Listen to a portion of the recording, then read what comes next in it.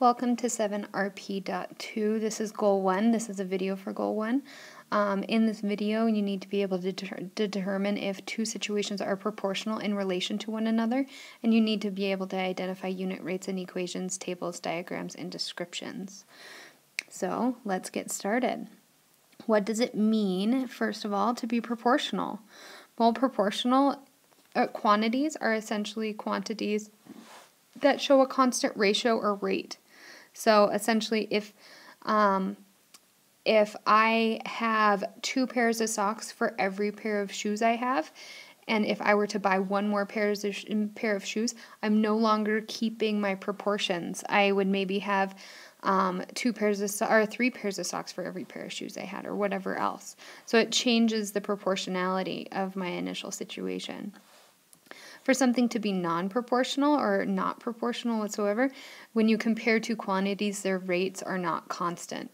So it's super important when you do these sort of problems that you check multiple um, quantities to see if some of them are proportional or if all of them are proportional or if they are not proportional.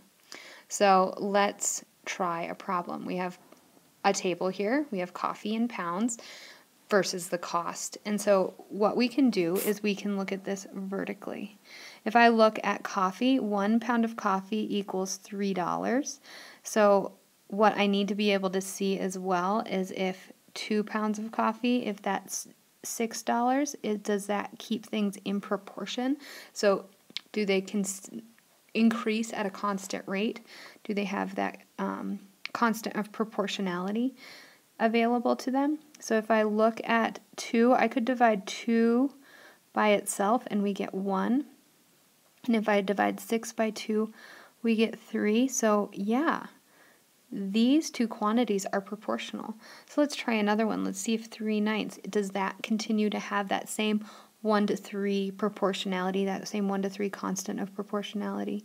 So three dollars or three pounds to nine dollars. We can divide this by three and this by three to get that sort of upside down unit rate sort of thing. So we can see what one pound would equal. Well, three divided by three is one, and nine divided by three is three. So yeah, this is still proportional. And we can check one more time. Is four over twelve? Can that be simplified into one third as well. I'm sure you're probably already seeing it. Yeah, it sure can. It can be simplified to 1 over 3. So this has a constant of proportionality, essentially, of 1 to 3. That is our ratio. It's 1 to 3 or 1 to, oops, I wrote that wrong, 1 to 3. So, yes, constant in proportionality, this is a proportional relationship. For every pound of coffee, you're going to pay $3 more. So we could also say, well, for half a pound of coffee, how much would I pay? Well, looking at this constant of proportionality, this half a pound of coffee compared to 1 over 3, how much are you going to pay? How do I get from 0.5 to 1? Well, I need to multiply it by 2. I'd need to multiply this bottom by 2, so 3 divided by 2, if we're going the other direction, 3 divided by 2 is 1.5, so I'm going to pay a buck 50 for half a pound of coffee. Let's try another problem. This problem is one where we need to decide if the time is proportional to the distance. So let's try a couple of problems. Here's 1 over 50, and we need to see if 1 over 50 is proportional to 2 over 70. So first of all, let's look. How do I get from 1 to 2? Well, I'd have to multiply by 2. That means if this is in proportion, I'd have to multiply the 50 by 2 to get 70. And really, we have to multiply 50 by a much smaller number, probably like 1.3 to be able to get 70. So this situation right here is not proportional. Not good. Another way that you can look at it is we have that 1 to 50 sort of ratio versus the 2 to 70 ratio. And if I were to divide 2 by 2, I will get 1, which is what I want on top. And if I were to divide 70 by 2, I get actually 35 on the bottom, which is not the same. Those are not the same. Nope, it is not proportional. And so we actually only need to pick it or try one of these.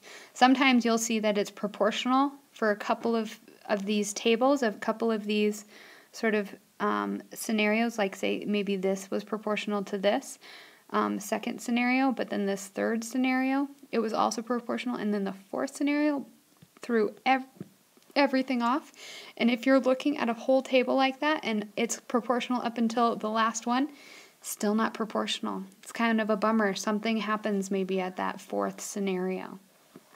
So let's try one more problem. We need to determine if this is proportional. Is the number of drinks proportional to the number of ice cubes that are used? So we have a 1 over 6. One drink equals 6 ice cubes. Let's see if that is in proportion to our situation 2 over 14. So we need to set that equal 2 over 14. So how do I get from 1 to 2? I'd have to multiply by 2. That means I'd have to multiply here by 2. 2 to 6, or 6 times 2 gets me 12. So again, not proportional, and we only needed to try two of these ratios to be able to determine that. So now I'd like you to start in on this homework. If you have any questions, please ask. I believe you are doing um, section 6.4 and you're going through 1 through 18 and then number 20 as well. So please ask questions if you have any. I'd be happy to answer them. Otherwise, work yourself through determining proportional relationships. Thank you.